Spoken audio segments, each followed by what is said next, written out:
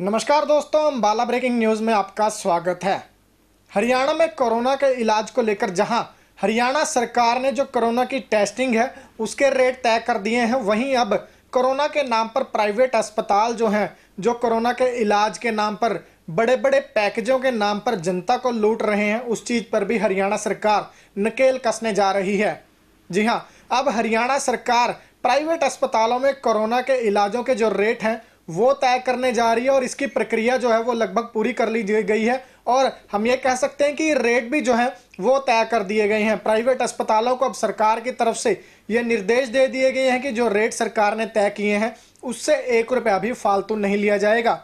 इस मामले की जानकारी आज हमें हरियाणा के स्वास्थ्य मंत्री अनिल विज ने दी और उन्होंने बताया कि इस पूरी प्रक्रिया में जो NABH से अप्रूव्ड अस्पताल हैं, उन्हें अलग श्रेणी में रखा गया है और जिन अस्पतालों के पास एनएबीएच का अप्रूवल नहीं है, उन्हें अलग श्रेणी में रखा गया है। इसके साथ साथ वेंटिलेटर के साथ कोरोना के इलाज में क्या रेट होंगे ऑक्सीजन के साथ क्या रेट होंगे, इन सभी चीज़ों का एक जो रेट है वो सरकार ने तय कर दिया है। जिसके बाद अब जो पूरा निचोड़ निकल कर सामने आया है वो ये है कि सरकार ने आठ हज़ार से लेकर अठारह हज़ार रुपये तक का जो रेट है वो निर्धारित किया है।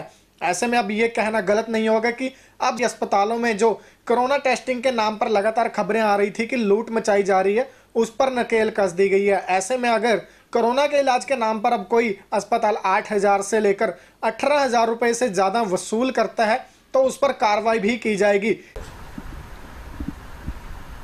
हमने ताकि प्राइवेट अस्पताल इस कोरोना काल में मरीजों को ज़्यादा परेशान ना कर सकें। इसलिए हमने रेट तय कर दिए हैं। एन अस्पताल के कितने होंगे? नॉन एन ए के कितने होंगे? विद ऑक्सीजन कितने रेट होंगे? विद वेंटिलेटर कितने रेट होंगे? कुल मिला के आठ हज़ार से लेके अठारह हज़ार तक हमने ये रेट तय कर दिए हैं। और कोई भी अस्पताल छोटा बड़ा जो मर्ज़ी हो, इससे ज़्यादा रेट चार्ज नहीं कर सके सोनीपत में हुए शराब घोटाले में सरकार की जमकर किरकिरी हुई थी। इस मामले को लेकर विपक्षियों ने भी काफ़ी सवाल खड़े किए थे और उसके बाद हरियाणा सरकार ने इस मामले की जाँच जो है, वो हाई लेवल कमेटी यानी कि एससीटी बनाकर उसे सौंप दी थी और उसकी जाँच जो है, वो अभी जारी है। लेकिन इसी बीच हरियाणा के डिप्टी सीएम जो कि एक्साइज विभाग भी संभाल रहे हैं, हम बात दुष्यंत चौटाला की कर रहे हैं। उनका एक बयान सामने आया है कि हरियाणा में शराब घोटाला हुआ ही नहीं है। उनका कहना है कि ये पुलिस के गोदाम में रखी गई शराब थी जो चोरी हुई थी।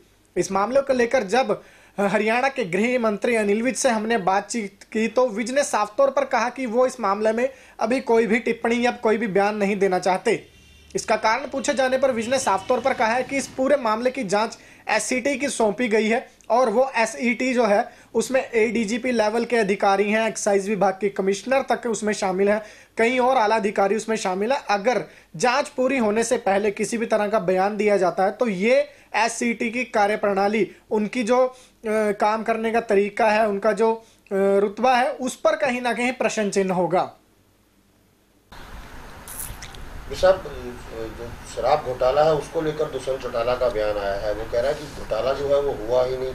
ये तो पुलिस के माल खाने की शराब थी जो वहाँ से चोरी हो गई। देखिए, मैं जब तक एसआईटी की रिपोर्ट नहीं आ जाती है, मैं इस पर अपनी कोई जजमेंट नहीं देना चाहूँगा। जब हमने कानून के तहत बाकायदा एस गठित की है तीन वरिष्ठ अधिकारी हमने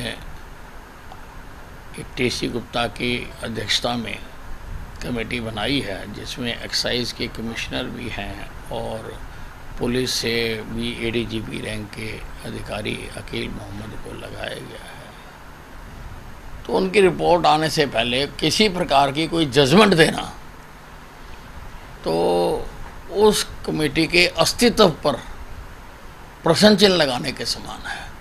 इसलिए मैं नहीं बोलूँगा। हरियाणा के डिप्टी सीएम दुष्यंत चौटाला इस बात की तरफ़ भी इशारा कर रहे हैं कि वो अपने कोटे से एक और मंत्री बना सकते हैं। यानी कि हरियाणा में मंत्रिमंडल का विस्तार हो सकता है। इस मामले को लेकर भी हमने अनिल विज से चर्चा की तो उन्होंने कहा कि दुष्यंत चौटाला अगर अपने कोटे का एक मंत्री बनाना चाहते हैं तो उसमें कुछ भी हर्ज नहीं है। वो चाहे तो बना सकते हैं।